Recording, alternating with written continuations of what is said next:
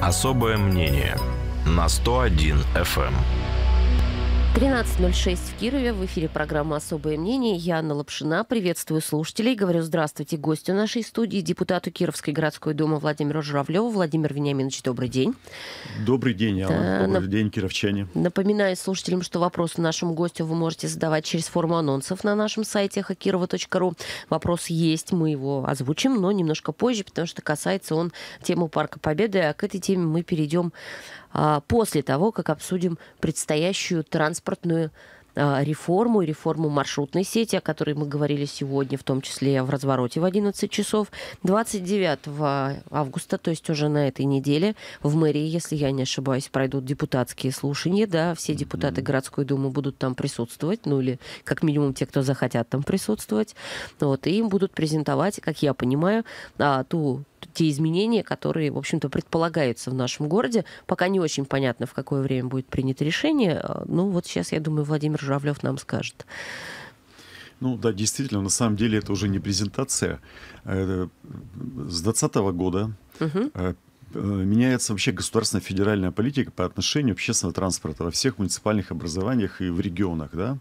То есть э, государство активно влияет пытается упорядочить, сделать это более социально-экономическим доступным, потому что общественный, э, вообще транспорт это кровь, кровь региона. То есть когда граждане могут передвигаться, это очень важно. Дороги и сам общественный транспорт очень важен. Государство молодец. Зрения. Молодец. Молодец. Да. Оно не просто молодец, федеральное государство. Еще в прошлом году, в 2018 году, нам были выделены деньги порядка там, по-моему, 17 или 18 миллионов. Но почему-то сейчас вот за схему 15 миллионов говорят. Нам выделили из федерального бюджета вот такую субвенцию через областной бюджет.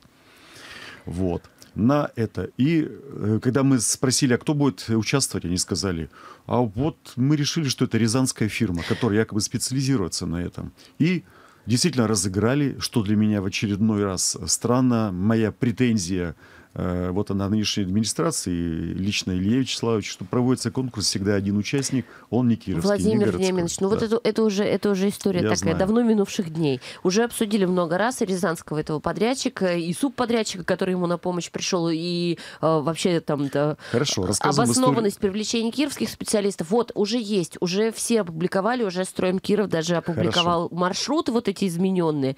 Вы 29 числа о чем будете спрашивать? Ну, Разработчиков и власти? Во-первых, этот нам проект не представлен до сих пор. Был. Ну, никто не видел в глаза. его покажут. Э, на самом деле, допустим. 29 числа это, ну, если брать современным таким английским языком, headline. Угу э, линия, то есть она окончательно. Это, если честно, он такой определенный ультиматум уже депутатского терпения, потому что нас э, с апреля месяца, мы уже знали, что в апреле месяце он не готов, мы задавали, ставили жесткий вопрос перед администрацией города, потому что э, не позднее сентября, начала сентября, первых 10 чисел, нам необходимо в сроки э, по законодательству провести конкурсы, процедуры, Для которые мы могли, да, мы могли бы разыграть, угу. и у нас уже в голове было все в порядке. Ну и хотя бы там дней 20 в декабре оставалось бы для того, чтобы утрясать какие-то, ну знаете, вся быть нестыковки. Это очень важный. Общественный транспорт — это очень важный аспект жизнедеятельности, жизнеобеспеченности.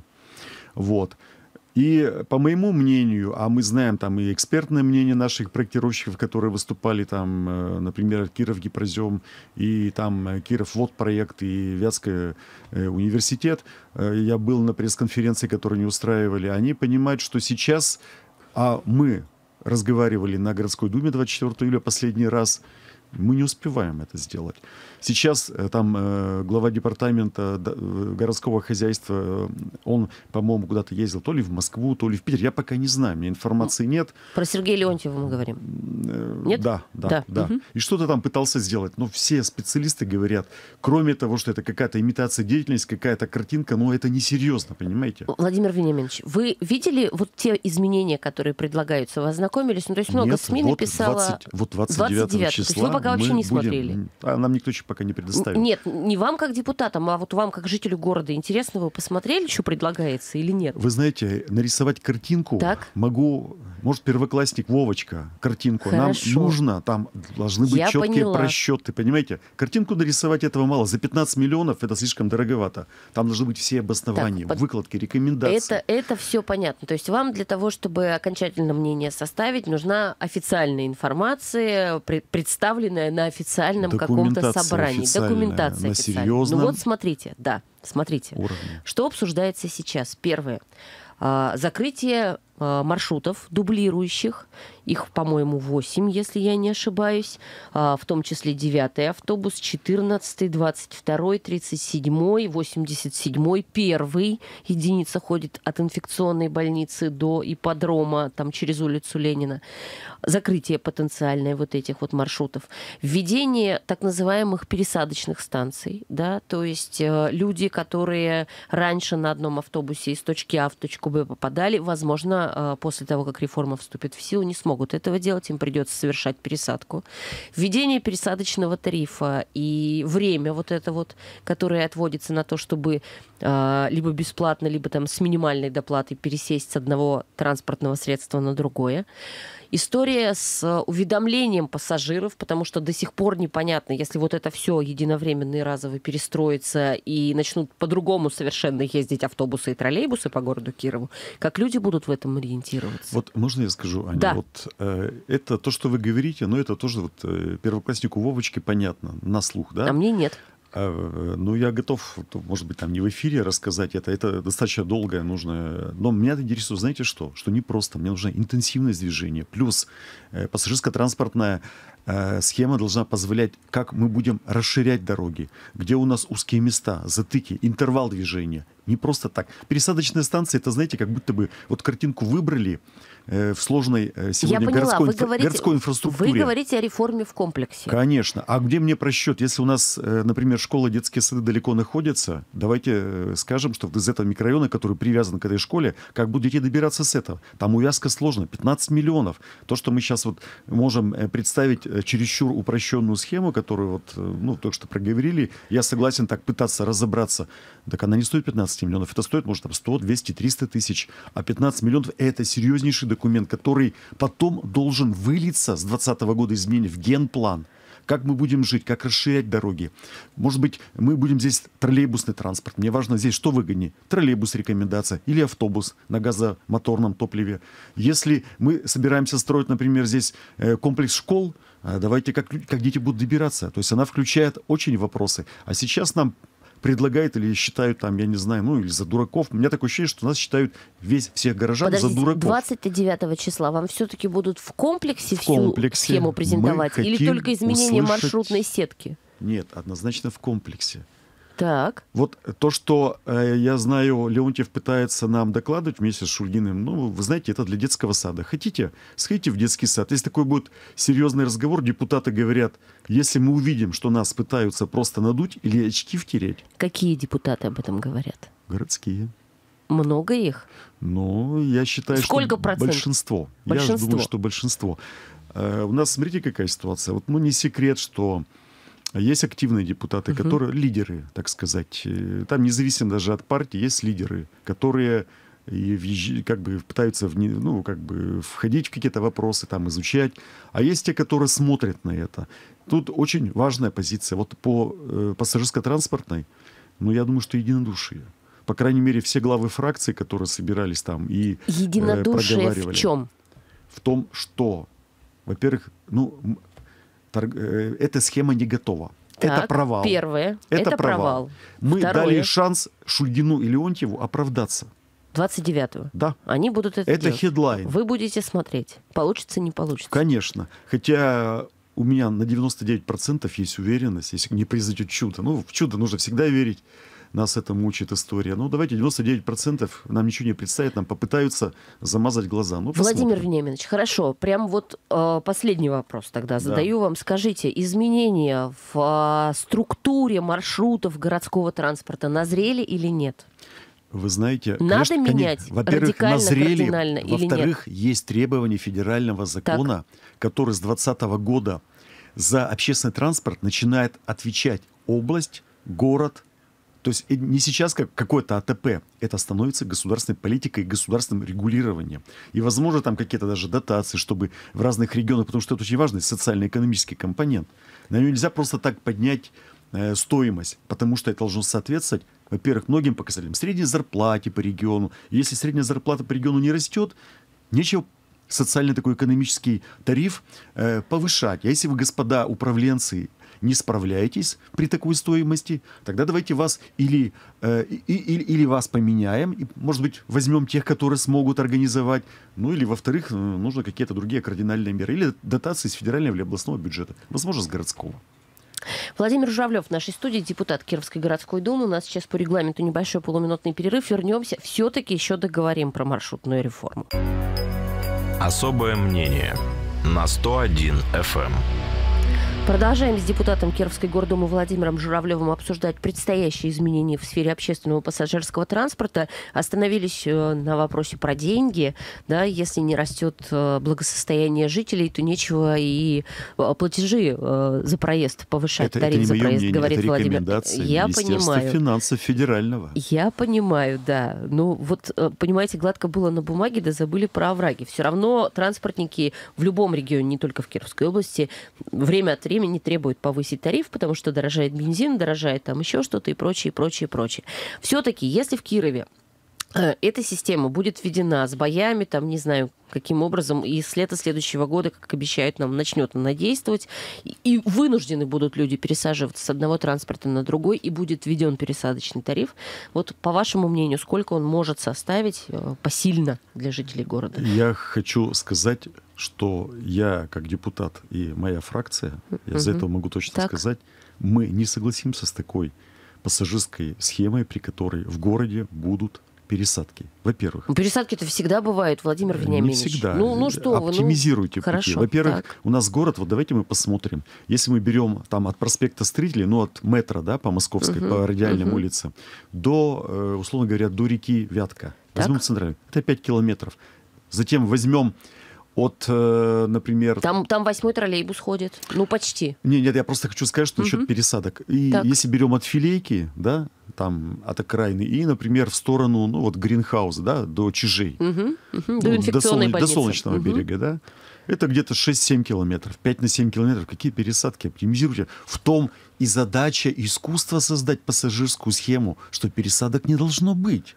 Понимаете? То есть это кольцевые маршруты, когда то есть, что такое кольцо, мы понимаем, да? Мы с, то есть, э, как метро, станция метро. Есть одно кольцо, есть второе кольцо, есть радиальное. Ну, да? правильно, и там ты с кольцевой на радиальную переходишь. То есть, пересадка-то все-таки есть. И э, мы хотим привязать, нет, к, к, к местам работы конкретных людей, может быть, мы не сможем эту схему Конечно, приравнять. Да. Но схема доступности социальных объектов, больниц, детских садов, школ. Это, знаете, э, вот а, а, а обязывает при создании этой схемы, чтобы, например, конкретная больница, предположим, к северной, угу. должна быть доступность. Вот у него есть, у нас регион, куст. задачи есть социальный куст, да, который прикреплен к этой угу. больнице.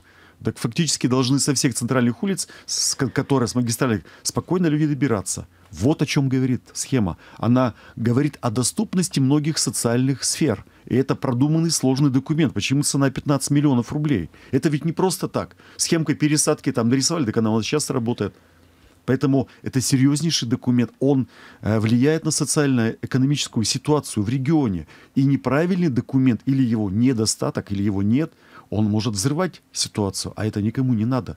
Так ведет себя ответственная власть. Безответственная вот ведет так, так как у нас этой схемы до сих пор нет. Вам как кажется, 29 числа после ваших обсуждений э, будут вноситься какие-то радикальные изменения вот этот предложенный документ или нет?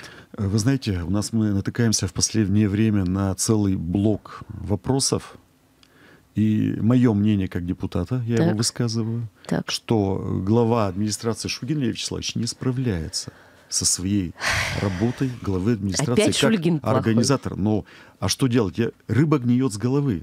Понимаете? Рыба гниет с головы, мне непонятно его действия. Мало того, он не слушает, он... Э, что значит непонятно? Хоть какие-то шевеления в городе начались, приближающие нет, Киров нет, там к нет. каким-то более крупным городам. Погодите, это, это ведь не Шульгин пробил вот эту схему пассажирскую. Не он нашел денег. Это обязательно федеральная программа. Всем субъектам раздали деньги, говорят, делайте пассажирскую транспорт, организуйте к 2020 году. Первое. Дорогу, например, вот которая из последних регионов сейчас реализующих проектов, 500 а, миллионов нам выделили на дороги для строительства новых жилых комплексов. Это в Урванце в Чистых так. прудах. Где заслуга Шульгина? Осваивайте 500 миллионов. Где заслуга? Строительство детских садов, школ. Где заслуга Не, ну Шульгина? подождите, Это я вот- федеральная я- программа. Я вот уверена, например, что все эти деньги из федерального центра надо выпрашивать Слушайте, образом. То есть ну, нет такого, чтобы Я вам ответственно говорю, разбрасывали по ответственно- всей России, знаете. Погодите. Да. Ответственно говорю. Я знаю, как формируются эти программы. Это федеральные деньги, которые нам говорят, вот вам на три школы. Слава богу, что Только, хоть что-то только, давать только стали. извините, но для Ну, этого вы должны сделать, показать нам, Так. где вы это посадите, Так. эту школу, сделать проектную документацию ну, для этого. ведь. Иначе бы не давали денег Слушайте, в следующий мы- год. нам не хватает сегодня, вот я официально говорю, признания 16 школ в городе для того, чтобы довести нормальный процесс, о котором говорит президент, председатель правительства, говорят нормы Роспотребнадзоровские, говорит наш областной закон, в котором сказано, количество детей в школах, в классе должно быть 25 человек. Это областной закон на основе федерального закона. А у нас сегодня везде 30. Или, чем мы или говорим? 11 классов. Ну, тут вы, вы понимаете, вот в последние годы в нашем регионе почему-то появляются те люди, которые, ну, они не Так. выполняют, не слушают президента, они прикрываются этим. Если этот человек, значит, я считаю, человек не государственный.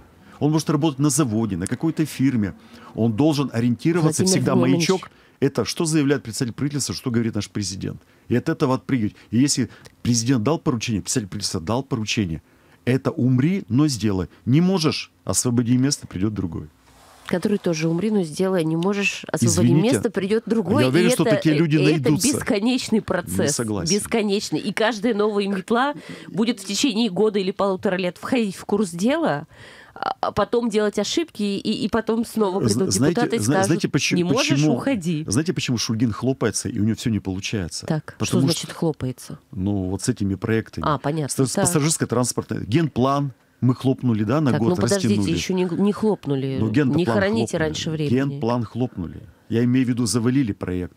Сейчас вот по дорогам мы посмотрим в чистых прудах, я думаю, тоже Так, а, завалим а проект. что а, под- подождите, а что с дорогой с чистых путепровод сдают? Погодите, путепровод – это Так. отдельный проект. Так. Вот к 31 августа, я не Сдадут. сомневаюсь, был, готовность велика. А вот дорога, которая из города к этому путепроводу, и потом дальше по чистым прудам, дороги по Это, чистым подождите, прудам. вы улицу Попова имеете в виду? Или, или какую дорогу, я не могу Нет, понять. от путепровода, а по чистым прудам дороги. Так, вот вы имеете в виду те, которые в часть. чистые пруды? 500 миллионов, которые Так. нам выделили на Урванцево и на чистые пруды. Так. У меня сомнение, что там будет э, это сдано. Почему? Ну, давайте дождемся, потому ну, что сроки там, по-моему, конец октября стоят. совершенно Ну, верно. еще два месяца 31 есть. октября. Почему у вас сомнения? Но эксперты, которые в дорожнике, эксперты-дорожники заявляют, что там не хватает ни техники, они видят же объем работы. Подождите, вот сейчас БКД заканчивается во всех остальных районах, во всех остальных участках. И всю технику, которая будет освобождаться, всю прям туда как бросят, и там за неделю все сделают. Аня, Да? вот вы Вы знаете, хотите есть- сказать, что нереально построить дорогу за Ну, неделю? вот есть же определенные э, технологии. Вы знаете, асфальт Да. ведь нельзя просто положить. Конечно, Нужно сварить, конечно, один слой да. положить, второй. Притом строительство, просохнуть должно, строительство наверное, новое. да. Да. там есть коммуникации, там есть... э, А на дворе осень, скоро дожди. Конечно, конечно. А вы видите, что лето в этом году не радует, и я сомневаюсь, что оно будет у нас, ну, такое, э, ну, вдруг солнечный октябрь будет. Октябрь у нас всегда дожди. И теплый. Да, тем более теплый. Вы знаете, что там, ну, э, если будет даже ниже, ниже Нет, плюс подождите, 10... ну вот хорошо, на, на погоду Нужны надежды, надежды мало. Вы говорите, что не справятся, не успеют до конца октября или сделают, но качество будет не- н- недостаточное. Нет, речь Про идет что вы? качество это отдельно, мы посмотрим. По качеству нельзя Так. ничего говорить, я не могу о качестве говорить. Просто пока если к концу не октября они не успеют, Качество- это значит, что они вообще не сделают Качество мы можем определить, если будет дорога сделана. У меня есть сомнение, что дорога будет сделана. Тот проект будет реализован в чистых прудах, потому что это определенный объем работы, это дорога новая. Это не просто, вы знаете, асфальт положить, отремонтировать. А почему у вас сомнения-то? Ну, потому что мы выезжали в депутаты, и плюс... И что вы там увидели? Ну, слушайте, я, как мы по радио можем рассказать? Пусть съездят. Мы знаем объем работы. Давайте спросим, э, например, какого-то строителя, эксперта пригласим, и, и он, может быть, подетально разложит. Вот просто своими словами, двумя предложениями. Там, Аня, скажите, что вы увидели, что там? скажу, Аня, что? давайте мы пари заключим, Не- сделаю дорогу или нет? Нет, нет, это мы с вами сделаем за рамками эфира. Значит, вы что там увидели? То есть вы приехали, там не проложено вот это Конечно, вот нет техники, нет нет работ. техники, нет людей. Конечно. Когда вы там были? Ну, буквально неделю назад. Неделю назад. Может, сейчас уже там работают Нет, я знаю объем работы, проехали по всем улицам, которые должны быть сделаны. Так. Они не успеют.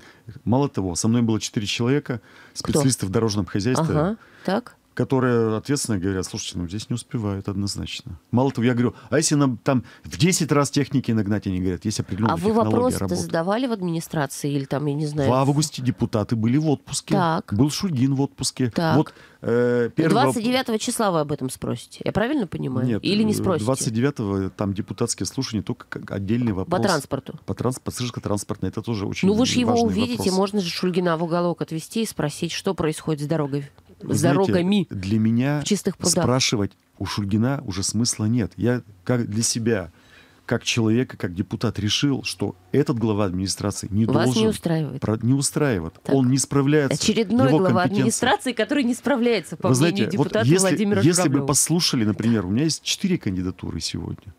На то это кировские все. Так. Это ответственные люди. Так. Это не люди каких-то партий или еще что-то. Это обычно нормальные хозяйственники, умеющие организовать работу. Если бы Вы фамилии можете назвать? Пока нет без Пока их нет, согласия, хорошо, понимаете, ладно. без их согласия. Дождемся согласия. Но с ними я проговаривал, и я знаю, что экспертное сообщество говорит, да, если бы хотя бы один раз сказали, вот Жулев предлагает конкретно человека, да, какого-то, я готов нести ответственность за это. Вплоть до того, что да, я сложу а себя если он тоже не справится? Вы знаете, я еще раз, А вы с пробле- ним еще, проблема вы с ним еще и он... рассоритесь потом. Погодите.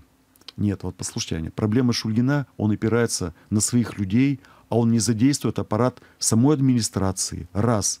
Специалистов, бизнеса местного, депутатов, которые готовы все были помогать, взять ответственность, а он втихаря создает условия, приходят не кировские фирмы, и сегодня вот по этим дорогам, да кто ему будет спасать? Никто его не будет спасать. Понимаете, там сегодня... э, Ну все- подождите, вы подождите, хороните. Вы были там неделю назад. За неделю многое могло измениться. Тем Аня, более прошлая хорошо. неделя была Хорошо, теплая. давайте мы не будем говорить. Мы с вами Давайте, договорились, кстати, по съездим. дороге говорить по Урванцево. Да. Я вам хочу сказать... Давайте вернемся вот, к Урванцево Вот, и к вот транспортно-пассажирская схема, она похоронена. Все, об этом можно говорить. Она должна была в ноябре прошлого года появиться. Ну не появилась. Ну все. Не появилась. Всё. Ну может Все, здесь Шульгин будет. в отставку. Вот так. Мгм. Владимир Журавлев в нашей студии, депутат Ответственность Кировской персонально спасет нашу страну. Думы. Да, Владимир Вениаминович, значит, у нас еще несколько тем впереди, и через минуту буквально у нас будет перерыв на рекламу. До того, как мы уйдем на рекламу, я все-таки перейду к теме а, суда по делу Парка Победы. А, озвучу вопрос от нашего слушателя Евгения, который есть на сайте. Каковы перспективы возбуждения уголовного дела в отношении главного фигуранта, так он его называет, творившегося в Кирове коррупционного беспредела Владимира Быкова? Город устал ждать справедливого финала. Но я ну, должна сразу сказать сразу же, да, что главным фигурантом как раз Евгений называет Владимира Быкова, потому что фигурант в деле Парка Победы пока один. Это Леонид Ефаркин, это учредитель завода э, охотничьего и рыболовного снаряжения, который, собственно говоря, является обвиняемым да, по делу. И на прошлой неделе стало известно, что в судебном процессе планируют таки допросить еще большее количество депутатов э, городской думы, которые в свое время голосовали как раз вот э, по этому делу, по изменению статуса участка, потом, как я понимаю, по продаже земли, да, э, и э, в том числе в суд планируется вызвать Владимира Быкова, но пока, как я понимаю, не очень известно, когда это произойдет, на этой неделе или, может быть, чуть попозже. Э, Мы с Владимиром Журавлевым сейчас прерываемся на полторы минуты, после этого вернемся и по делу Парка Победы будем говорить. Особое мнение на 101 FM. Возвращаемся в эфир в нашей студии Владимир Журавлев, депутат Кировской городской думы. И его особое мнение мы сегодня слушаем. Я напоминаю, да, на чем мы остановились. Вопрос нашего слушателя Евгения. Каковы перспективы возбуждения уголовного дела в отношении Владимира Быкова? Речь идет о Парке Победы, да, э, я так понимаю, все-таки. Хотя Евгений э, более широко тему берет, он обозначает это как творившийся в городе Кирове коррупционный беспредел. Ну, вот, собственно говоря, по теме Парка Победы известно, что Владимира Быкова уже вызовут да, в суд давать показания. Правда, пока непонятно, когда это произойдет. Вам, Владимир Вениаминович, как кажется, Ну, после того, как Владимир Быков придет в суд, изменится что-то Я или очень нет? внимательно э, вообще э, с 13-12 года, как я пришел депутатом, я этим делом как угу. депутат занимаюсь. Хочу сказать, что по федеральному закону о местном самоуправлении, статьи 40, в которой прописан статус депутата, одним из пунктов говорит, гласит, депутат может проводить независимые депутатские расследования. Так. И то, что было в четвертом созыве, сейчас пытается депутатов четвертого созыва угу. вызвать. И один уже Альберт Бикалюк э, дал показания, что, ну, действительно, он продавил всех э, в Единой России, господин ну, Быков, ну, там пять, заставлял пятеро, голосовать. Пятеро было, по-моему, депутатов из четвертого созыва, кто давал Я, показания. Да, и Лопаткин там был, да, да и Лопаткин, который подтвердил, и, и Иван глава Строй, и, вроде бы, и все вроде бы говорили про то, что, да, действительно, мы там понимали, что, может быть, что-то мы не то делаем, но вроде как все по закону, поэтому... По какому закону? Решение по гражданской правовому правовому. А Решение приняли. Так. Вот, и я, Хорошо. я очень слежу за прессой. Мало того, я был один из тех депутатов, которые как вы планомерно думаете? с 13 года, можно да, я расскажу? Да, с 13 -го года мы собирали документы.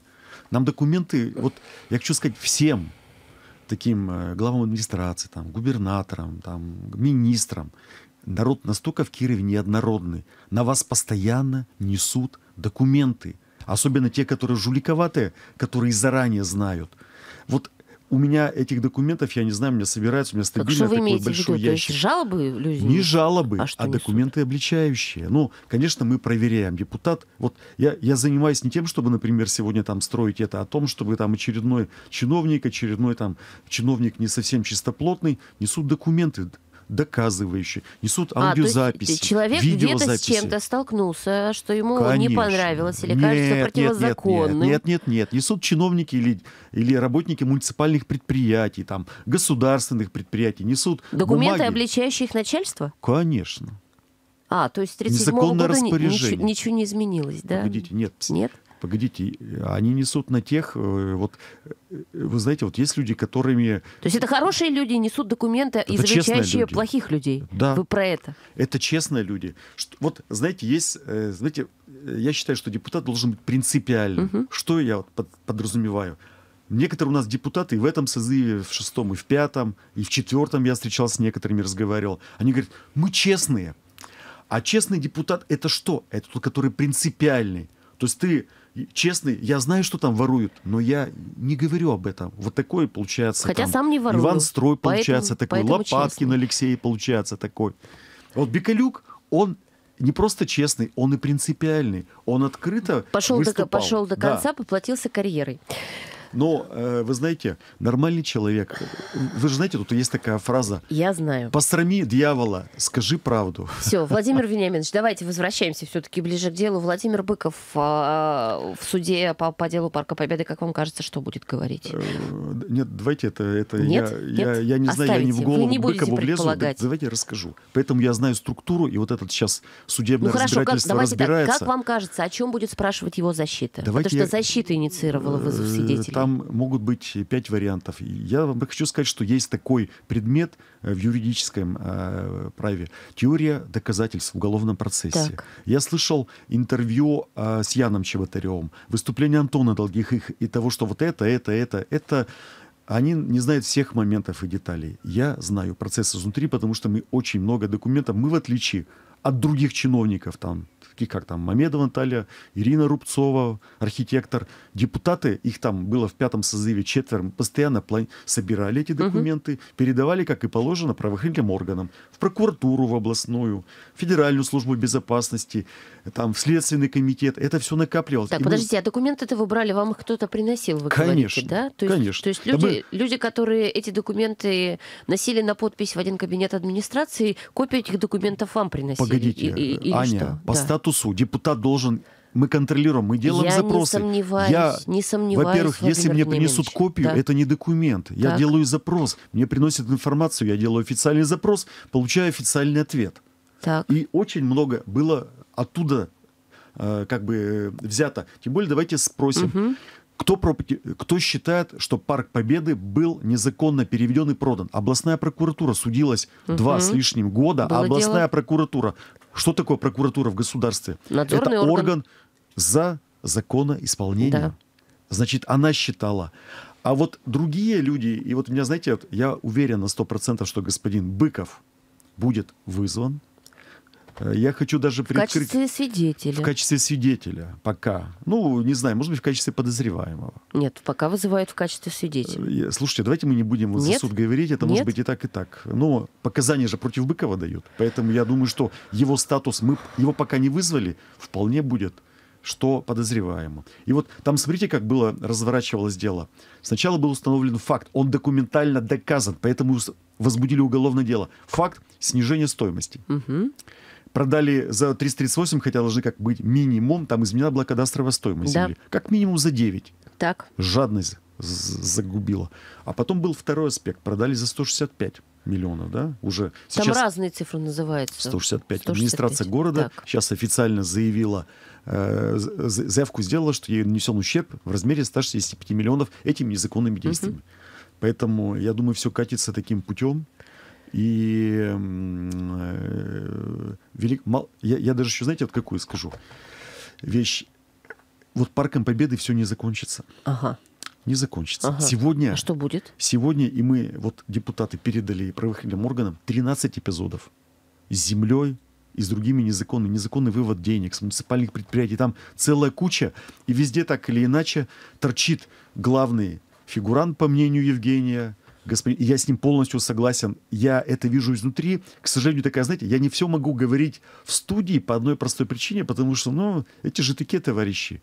А ты, раз не доказано... Да, э, подождите, это конечно. российский закон. У нас вина я... человека не доказана, Есть человек невиновности. невиновным. Конечно. Но сегодня рассматривается 13 эпизодов связанных. Мало того, из э, пятого созыва 6 депутатов и все Единая Россия подозреваются в каких-то действиях, и эти действия сейчас изучаются. Один Николь у нас уже задержан, угу, там Дмитрий есть еще, Георгиевич, да? еще угу. пятеро есть.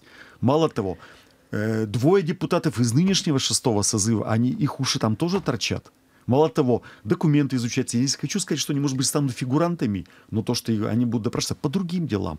Парк Победы, вот даже он будет завершен, а я уверен, что будет завершен. Ну, вся логика, все допросы, все эти документы, которые имеются. Вот кто э, владеет... Э, такие предметы, как теория доказательств. Я знаю, что документально там все доказано. То есть вы предполагаете, а что, вы предполагаете, что статус Владимира Быкова все-таки изменится? Я вам хочу деле, сказать, это первый момент. У меня есть подозрение, что будет еще 13 эпизодов попытаются, ну, это решение следственных органов, я не вмешиваюсь в их деятельность, но в моем понимании есть еще 13 эпизодов, кроме Парка Победы. И если это суммировать, то, ну вот, мое мнение как депутата, а я могу проводить расследование, не уголовное угу. расследование, а расследование получения документов, там, запросы делая, привлекая экспертов, получая док- какие-то документы, но я не могу их просто так.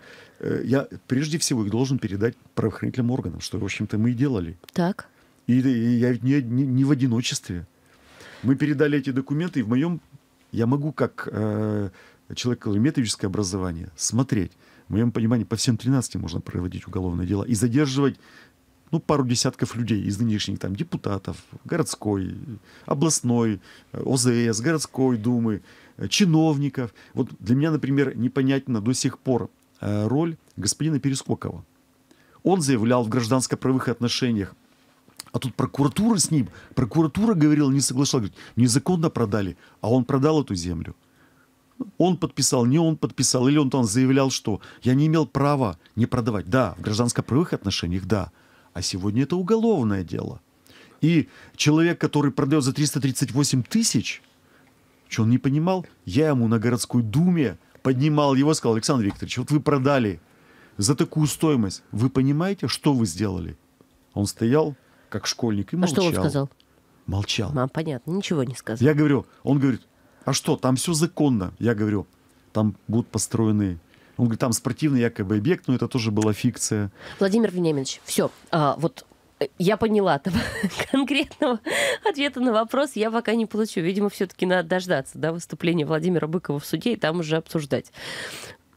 Ну, 13, я... 13 эпизодов, вы говорите. Мы, мы эту цифру записали, будем следить. У нас просто две минуты остается до конца эфира, и есть еще одна важная тема, которую я хотела бы, чтобы вы прокомментировали. Это история с дизайн-кодом улицы Ленина. Вот очень коротко, смотрите история. А, презентовали в четверг, да, вот эту, э, вот эту вот всю там потенциально э, вот эти все работы, которые будут внедряться с 2020 года до 30 июля следующего года будет переходный период для предпринимателей по замене вывесок, а, по там а, каким-то еще работам, которые они должны будут произвести. После этого их будут штрафовать. Для юридических лиц сумма штрафа от 500, от 50 до 300 тысяч рублей. Что говорят предприниматели? Предприниматели говорят, ну хорошо, окей, я сниму эту вывеску, которая вам не нравится, а вы фасад видели? Ну, я с этим согласен. Я в курсе этого. У меня, знаете, Кто такое... будет защищать предпринимателей минуту у нас? Кто-то может что, вообще их защитить? Я думаю, что депутаты, ситуации? вы знаете, это вот придумка господина Шульгина. Опять? Ну, я, я все это понимаю. Я хочу Не, ну слушайте, ну город-то надо к бизнесмена. Вы нас тоже поддержите. Да. У нас, э, вот у меня, как у депутата, есть намерение просто снять с должности. Понятно. Это в моих полномочиях. Только это, вы думаете, может решить? Да, понимаете, ну вот это подход. Владимир Ты сначала реши один вопрос, потом делай другой. Так сначала нас... отремонтируйте фасады, так. которые распадают. Посмотрите улица Ленина. Так. Сделайте на улице Ленина нормальное освещение. Вы видели, там оно какое уродское, да? Там уже реализован проект угу. энергосервисного контракта. Вот посмотрите, Стало есть видео, видео в интернете. Там полосы, освещ... там нет полной освещенности. Там поставлены светильники, я даже не беру. Мы проверим сейчас, депутаты проверим, угу. люкс соответствует или нет.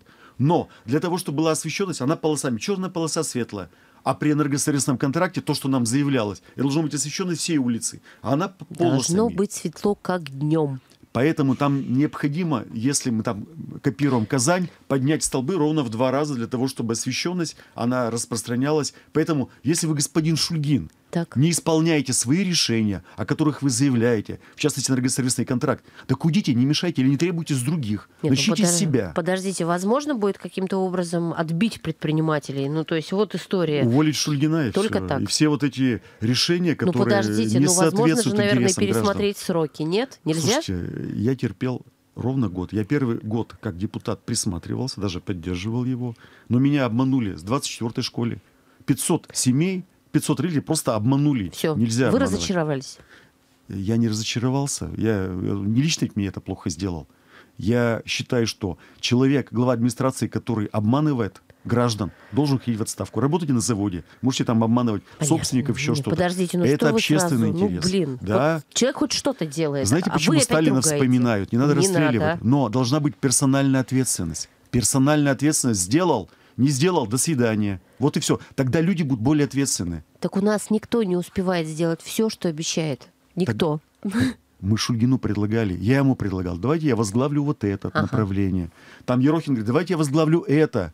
А он говорит, сами с усами. Все, все, Владимир Вениаминович, время вышло, нас сейчас выгонит просто из студии звукорежиссер. Я благодарю Владимира Журавлева за его особое мнение. Программа на этом заканчивается. Я Владимир благодарю Евгения за хороший вопрос. Я думаю, что мы получим тот положительный ответ граждане города, которые ждут от результатов рассмотрения дела все, по Парку Победы. Все, все.